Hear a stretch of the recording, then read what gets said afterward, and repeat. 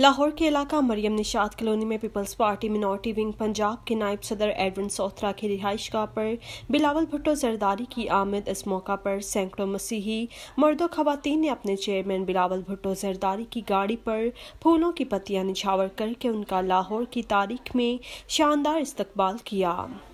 इस मौका पर कारकुनों की तादाद इतनी ज़्यादा थी कि चेयरमैन की गाड़ियों के काफिले को एडविन सोहत्रा की रिहाइश गाह तक पहुँचने में काफ़ी देर लग गई। इस मौका पर मरियम ने शाद कलोनी को एडविन सोहत्रा मनी लाड़काना बना दिया। हर तरफ़ वज़ीर आज़म बिलावल के नारों की गूंज सुनाई देती रही।